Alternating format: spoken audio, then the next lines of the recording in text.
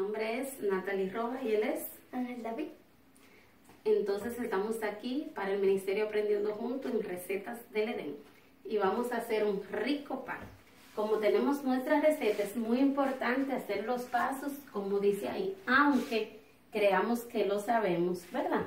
Entonces lo primero que tenemos es dos libras de harina.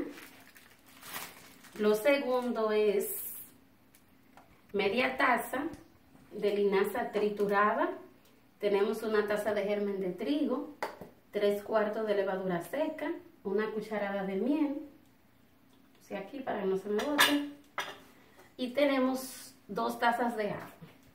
Es un pan muy sencillo, muy fácil de hacer. El truco está primero en orar y segundo en amasar bien. Entonces ya Ángel y yo oramos y vamos a proceder a hacer la receta. Ángel, vas a mezclar el agua con la miel aquí aparte. Mientras yo aquí voy a mezclar la harina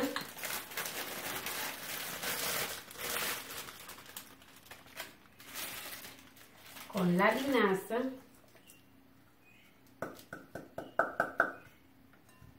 Las manos deben estar limpias porque el pan debe estar amasado con nuestras manos.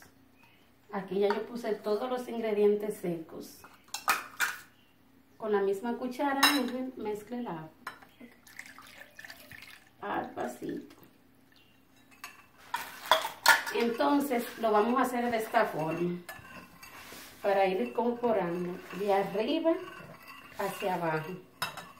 De abajo hacia arriba. Y lo vamos a ir haciendo así. Y así todo se estará mezclando todo, todo se estará mezclando. Bueno, ya no hay duda de que la levadura está en toda la masa. Muy bien. Ahora vamos a abrir un huequito en el centro y le vamos a ir echando el agua poco a poco. Permíteme. Saca la cuchara, mi amor. Poco a poco. Y vamos a ir amasando. Hay algunas harinas que eh, absorben más agua que otras y con eso hay que tener mucho cuidado. Entonces, ¿cuál es el truco? Ir agregándosela poco a poco, poco a poco.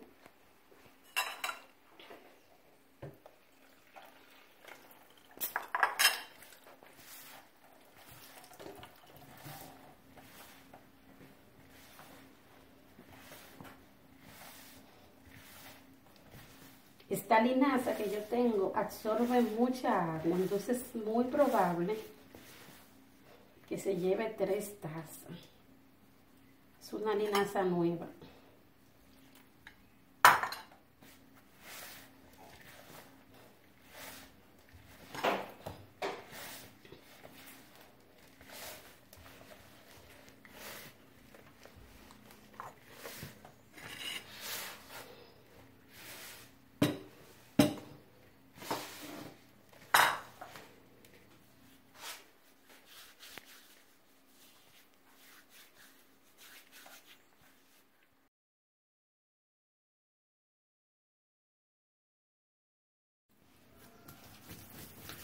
Ahí está mi esposo, él está ayudándonos a amasar el pan.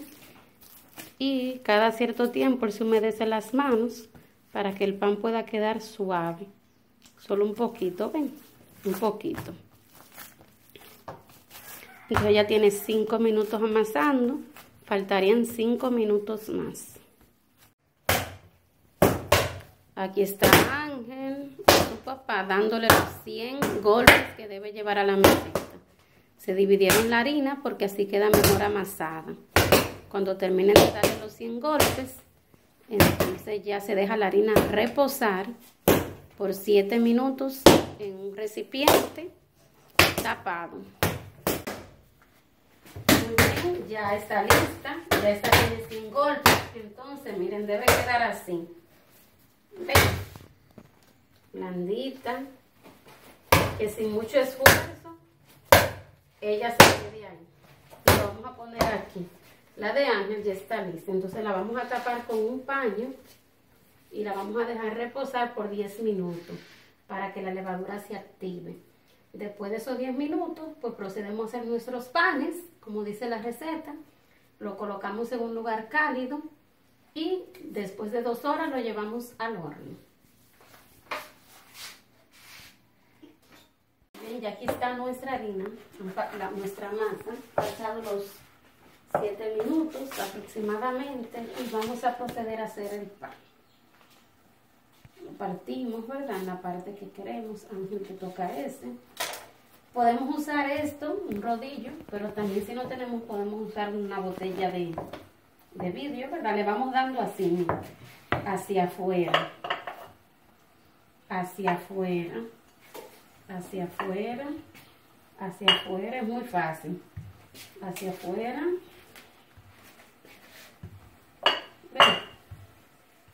Siempre hacia afuera, desde el centro hacia afuera. Entonces, ¿qué hacemos? Vamos a unir todas las partecitas así en el centro.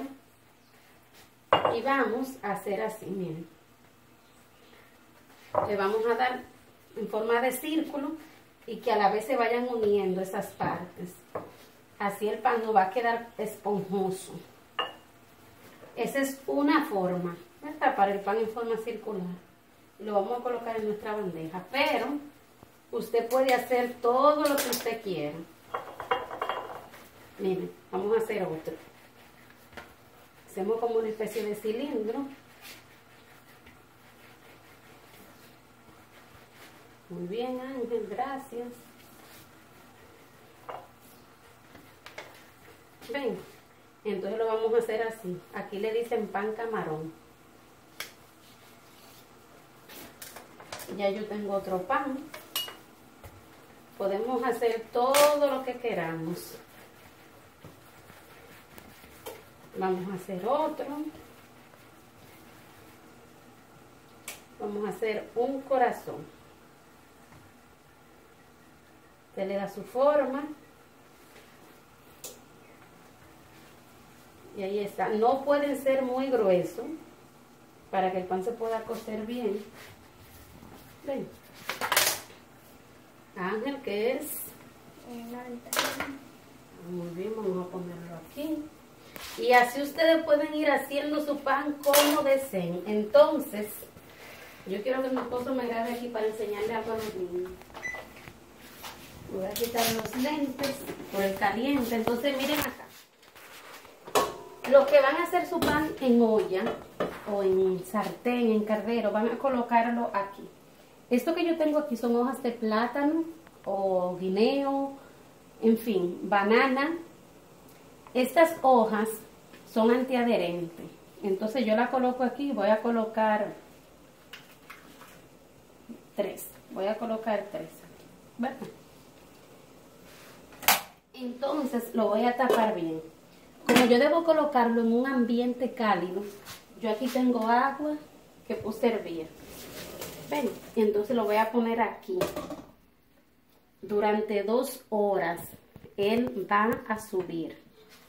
Entonces el horno, yo lo tengo tibio, ¿verdad? No está encendido, solamente está caliente. Para que cuando yo entre la bandeja con los panes, así, También el caliente haga que la levadura se active mucho mejor y el pan suba. Los que tienen sartén lo van a hacer de esta forma y los que tienen horno de esta forma. El horno no está encendido, simplemente está caliente. Si lo encendemos, entonces el pan va a empezar a cocinar, si no le vamos a dar lo que tenemos que darle. Dos horas en un ambiente cálido. Aquí tenemos este y aquí este.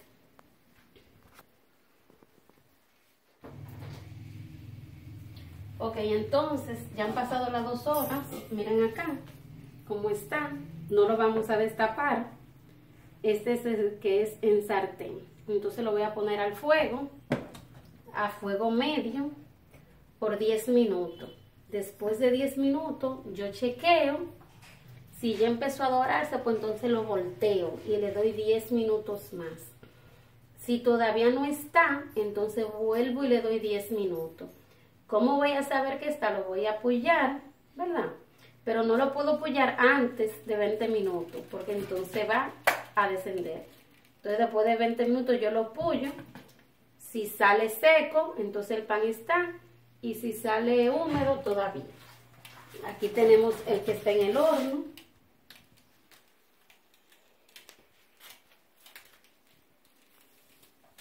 No sé si pueden ver que creció también.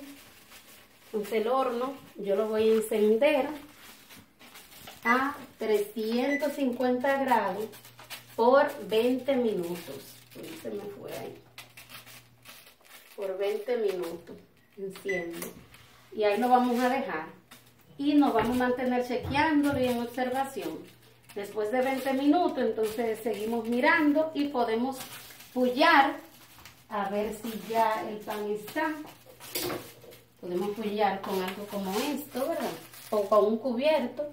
Vamos a apoyar y si ya el pan está, pues entonces listo. Pero si no está, lo volteamos tanto acá como acá. Así quedaron nuestros panes. Buen provecho.